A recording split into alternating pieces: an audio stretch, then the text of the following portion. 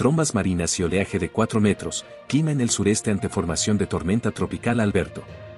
El clima en el sureste de la República Mexicana se verá afectado por el potencial ciclón tropical 1, el cual podría evolucionar a la tormenta tropical Alberto, según informó el Servicio Meteorológico Nacional de la Comisión Nacional del Agua.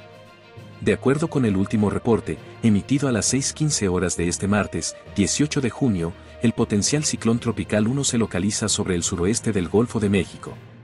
Su posición geográfica actual provocará lluvias puntuales intensas en Tamaulipas, Veracruz, Puebla, Oaxaca, Chiapas, Campeche, Yucatán y Quintana Roo.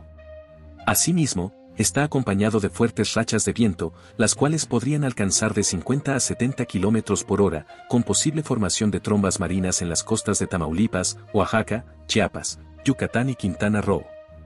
También se pronostican rachas de 40 a 60 km por hora y posible formación de trombas marinas en las costas de Veracruz, Tabasco y Campeche.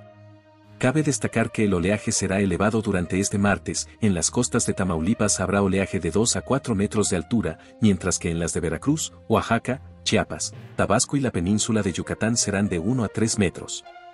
Es importante señalar que durante este día persistirán otros sistemas meteorológicos en el sureste del país, que se asocian al potencial ciclón tropical 1, el cual podría evolucionar a la tormenta tropical Alberto, según señaló el Servicio Meteorológico Nacional de la Conagua.